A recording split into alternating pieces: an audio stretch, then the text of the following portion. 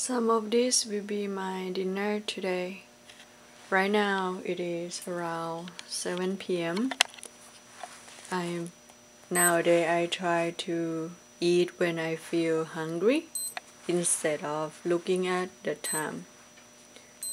Correction on the time. Right now is 7:50 p.m. Okay, let's eat. This one is the steamed eggplant.